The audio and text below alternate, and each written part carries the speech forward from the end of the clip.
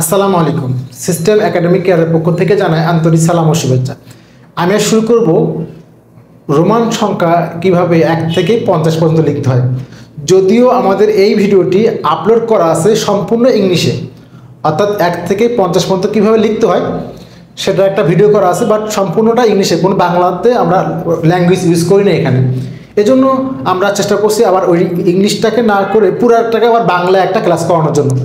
আমি এখানে আপনাকে কিছু শর্ট সিস্টেম শেখাবো, যেটা দ্বারা আপনি অনলি পাঁচ সেকেন্ডের মধ্যে যে কোনো রোমান সংখ্যা নিজের থেকে লিখতে পারবেন। কি সিস্টেম আমি আগেই বলে দিই। এটা হলো দশ, এটা হলো বিশ, এটা হলো তিরিশ, এটা হলো চল্লিশ, এটা হলো পঞ্চাশ। শেষ। দশ, বিশ, তিরিশ, চল্লিশ, পঞ্চাশ। যদি আপনি এইটা জানেন, তাহলে আপনার কাছে রোমান সংখ্যা পানির মতো হয়ে যাবে। কেন? দেখেন, আমি আপনাকে একটা বুদ্ধি শেখা আগে। প্রথম আগে লেখেন আপনি নয় এক, দুই, তিন, চার, পাঁচ, ছয়, সাত, আট, নয়, দশ। এটা যদি কষ্ট করে শিখতে পারেন, তাহলে এগুলা সব অন্টুর ব্যাপার। এখন আমি আপনাকে কিছু সিস্টেম শেখাই আগে। রোমান সংখ্যার যে মানগুলা এখানে কিন্তু আপনি এক থেকে দশ পর্যন্ত হয় পারেন পরে যে পঞ্চাশ, একশো, পাঁচশো, এক হাজার, এটা কিন্তু অনেকে মন রাখতে পারে না। এটা মনে রাখার জন্য একটা বুদ্ধি শেখায় আপনাকে সিস্টেম শেখায় যেটাকে বলি। কারণ কোচিংয়ে নামে system LCD monitor LCD monitor সবাই চিনেন যে পাতলা মনিটরকে বলে এলসিডি মনিটর কেন বলা এলসিডি মনিটর দেখেন এলসিডি মনিটর বললে এলসিডি মনিটর সবগুলা সিরিয়াল রয়ে গেছে। কারণ আপনি এল মানে পঞ্চাশ, একশো, পাঁচশো, এক হাজার। আপনার কিন্তু এই মানটা মন থাকবে না। কিন্তু এলসিডি মনিটর মনে রাখেন, সবগুলো মান সিরিয়ালি হয়ে গেছে। ওকে এখানে আমি আপনাকে একটা জিনিস বলতে পারি। তা যদি এটাও মনে না থাকে, আমাদের দেশে যে টাকাগুলো ইউজ করা হয়, পঞ্চাশ টাকা, একশো টাকা, দুইশো টাকা, পাঁচশো, এক হাজার, এই ছাড়া কিন্তু অন্য টাকা নাই নোট দেখেন, এর মধ্যে কোনো নোট নাই। বাট দুইশো টাকার নোটটা কিন্তু রিসেন্টলি এসছে, এর আগে কিন্তু দুশো টাকা ছিল না। সো ওইটাই মনে রাখেন যে দুশো টাকা নাই, পঞ্চাশ, একশো, পাঁচশো, এক হাজার। এলসিডি মনিটর এলসিডি মনিটর তাহলে আপনার আশা করি ইনশাল্লাহ লং টাইম মনে থাকবে। ওকে এখন আমি কিছু বুদ্ধি শেখাবো কেন দেখেন, কিছু রুলও আছে। আপনি যে কোনো সংখ্যা লেখার ক্ষেত্রে এক, দশ, একশো, এক হাজার তিনবার নিতে পারবেন যোগ বা বিয়োগ করতে গেলে আপনি অবশ্যই এক, দশ, একশো ইউজ করতে হবে। অন্য কোনো মান ইউজ করতে পারবেন না। পাঁচ, পঞ্চাশ, পাঁচশো একবার ব্যবহার করবেন।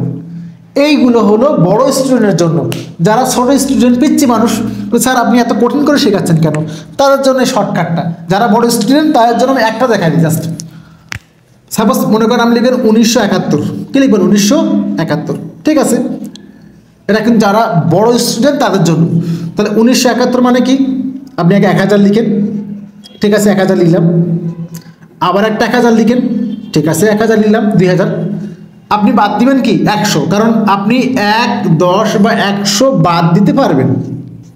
তাহলে উনিশশো হয়ে গেল। ঠিক আছে? এখন লাগবে একাত্তর। তাহলে একাত্তর মানে পঞ্চাশ লেখেন।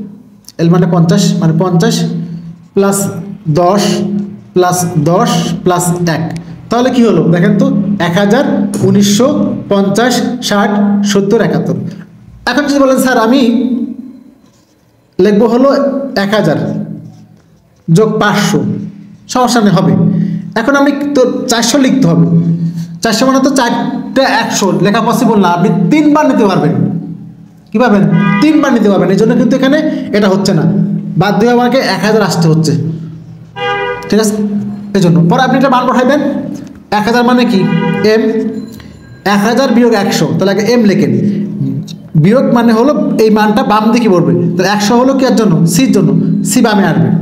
ওকে অর্থাৎ যখন পজিটিভ মানে বামে কোনো ছোটো মান বসে তার মানে বিয়োগ। যোগ পঞ্চাশ। এল মানে পঞ্চাশ। যোগ দশ। দশ মানে এক্স যোগ দশ এক্স ওয়ান এই হলো আপনার বড় একটা মান। যারা বাচ্চা মানুষ তার জন্য শেখাচ্ছি আমি এখন। এক মানে এক দাগ, দুই মানে দুই, তিন মানে তিন। আপনি কিন্তু রুল লাগতেছে না, সহজভাবে শেখেন। এটা এটা খেয়াল রাখেন আপনি, এক কিন্তু তিনবার ইউজ করতে পারবেন। চারবার কিন্তু ইউজ করতে পারবেন না। এই জন্য পরে চার মানে কি পাঁচ? তাহলে আপনি আগে শেখেন এক মানে এক ভি মানে এটা মানে এক ভি মানে পাঁচ, এক্স মানে দশ। তাহলে হয়ে গেল দশ। তাহলে আপনি এক থেকে তিন পর্যন্ত বুঝছেন, চার মানে কি? চার মানে আগে চার লেখেন, চার মানে কি লিখবেন? তিন তো চারবার লেখার স্কোপ নাই। তিন, চারবার লেখার স্কোপ আছে নাই? লেখার তো স্কোপ নাই। তাহলে আপনি তিনের বড় কি আছে? তিনের বড় সংখ্যা আছে হলো পাঁচ, রোমান সংখ্যায়। এক, দুই, তিন, চার তো রোমান সংখ্যায় নয়, একের বড়ই আছে, পাঁচ রোমান সংখ্যায়। বাট তিন পর্যন্ত আপনি পারবেন, চার পারবেন না। তাহলে এর বড়টা নেন পাঁচ। পাঁচ থেকে একবার দেন। তাহলে পাঁচ মানে ভি বা বিয়োগ মানে বাম দিকে। ওকে। তাহলে আশা করি আপনি পাঁচ পর্যন্ত বুঝতে পারছেন। ওকে। এই হলো আপনার পাঁচ। পরে দেখেন, পরে আপনি যদি ছয় লেখেন, পাঁচ আর এক ছয়, সাত, আট, আবার তিনটা ইউজ করতে পারেন। নয়। তাহলে আগের মতো নয় যদি দেখেন পাঁচ আর চার। পাঁচ কোনো সমস্যা নেই, চারটা তো এক লেখা পসিবল না। তাহলে আপনাকে এর থেকে বড় নিতে হবে, দশ নেবেন। দশ থেকে কী করবেন? এক বাদ দিবেন। নয় সমান কি লিখবেন? দশ থেকে এক বাদ দিবেন। দশ মানে এক্স এক মানে বিয়োগ, তো বামে বসছে। এই যে, নয়। আর দশ মানে দশ। এবার দেখেন, মজার যে জিনিসটা, যদি আপনি বিশ লেখেন মানে এগারো থেকে শুরু করেন, দেখেন, আগে এক্স, সবগুলো এক্স। সবগুলো, এগারো, বারো, তেরো, দেখেন আগে চোদ্দ, পনেরো, ষোলো, সতেরো, আঠারো, উনিশ, বিশ। মজার বিষয় দেখেন, এবার আপনি জাস্ট এক না, এখানে এক লিখবেন। দুই মানে কি? দুই লিখবেন। তিন মানে তিন লিখবেন। চার মানে এটাই লিখবেন জাস্ট চার চার। পাঁচ মানে জাস্ট পাঁচ লিখবেন। ছয় মানে জাস্ট কি লিখবেন? ছয় লিখবেন। সাত মানে জাস্ট কি লিখবেন? সাত লিখবেন। আট মানে জাস্ট কি লিখবেন? আট লিখবেন। নয় মানে জাস্ট কি লিখবেন? নয় লিখবেন। দশ মানে জাস্ট দশ। দেখেন তো কত মজার বিষয়।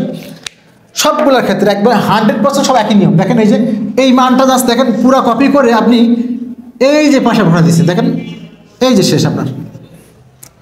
এই জন্য কিন্তু এই জিনিসটা নিয়মটা করা হয়েছে। মানে এগারো মানে যখন আমি লিখি এগারো, এই যে ডান দিকে এগারো থাকতে হবে। বারো মানে কি বারো থাকতে হবে। পনেরো মানে কি পনেরো থাকতে হবে। আঠারো মানে কি আঠারো থাকতে হবে। চেক করে দেখেন, এই যে আঠারো, আট আছে কিন্তু, আট আছে। সতেরো মানে কি সাত থাকতে হবে, এই সাতাশ আশা করি আপনি বুঝতে পারছেন এবং আশা করি আপনার ইনশাল্লাহ কখন এটার ভুল হবে না।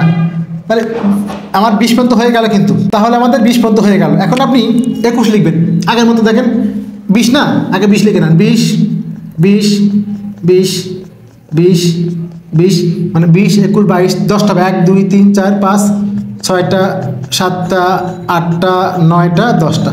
খুব খেয়াল করবেন।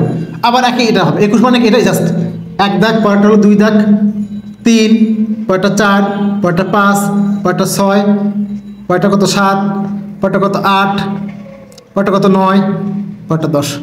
দেখেন চেক করে আবার। সবগুলা ডান দিক সেম ভাবে। এই যে এক, দুই, তিন, চার, পাঁচ, ছয়, সাত, আট, নয়, দশ বসে গেছে। তাহলে কী হলো? তিরিশ। এখন চল্লিশ। চল্লিশ দেখার জন্য কি দেখান তো? এক্সেল কারণটা কি? আপনি তো চারটা ইউজ করতে পারবেন না। পারবেন ইউজ করতে না। আপনি এক, দশ বা একশো যোগ বিয়োগ করতে পারবেন আর এক, দশ বা একশো, এক হাজার তিনবার ব্যবহার করতে পারবেন। দশ আপনি কবার করবেন? তিনবার দশ যদি তিনবার ব্যবহার করেন, তিরিশ হয়ে গেল। তাহলে আপনি চল্লিশের ক্ষেত্রে কী লিখবেন? এই যে, পঞ্চাশ থেকে দশ কম, পঞ্চাশ থেকে দশ দশ কমায় দিবেন। চল্লিশ। তো সবগুলো আগে লেখেন চল্লিশ, এই যে চল্লিশ। একটা, দুইটা, তিনটা চারটা, পাঁচটা, ছয়টা, সাতটা, আটটা, নয়টা, দশটা। ওকে এখন দেখেন। তাহলে আবার আগের মতো লিখব একচল্লিশ, এক, বিয়াল্লিশ, দুই, তিন, চার, পাঁচ, ছয়, সাত, আট, নয়, দশ। দেখেন কত ইজিলি আপনি এটা শিখতে পারলেন। এই যে জাস্ট ডান দিকে আপনি এক, দুই, তিন, চার, পাঁচ, ছয়, সাত, আট, নয় দশ। তাহলে এখানে দেখেন, এখানে লাস্টটা খেয়াল করার বিষয়। এটা কিন্তু কত হলো, দেখেন তো একচল্লিশ, বিয়াল্লিশ, তেতাল্লিশ, চুয়াল্লিশ, পঁয়তাল্লিশ, ছেচল্লিশ, সাতচল্লিশ, আটচল্লিশ উনপঞ্চাশ পঞ্চাশ। এখন এটা তো দিলে হচ্ছে না, কারণ এল মানে তো পঞ্চাশ। তাহলে এটা কী করবেন জাস্ট এল দিবেন। এল মানে কি হলো? পঞ্চাশ। এটা খেয়াল করতে হবে জাস্ট আশা করি বুঝতে পারছেন, এবং আমি আশা করি এই ভিডিওটি আপনারা আরও বেশি শেয়ার করবেন, যেন সবাই শিখতে পারে। তাহলে এতে আমাদেরও আগ্রহ বাড়ে। সিস্টেম একাডেমিক কেয়ারের পক্ষ থেকে আন্তরিক সালাম জানিয়ে শেষ করলাম আজকের মতো ক্লাস আল্লাহ হাফেজ।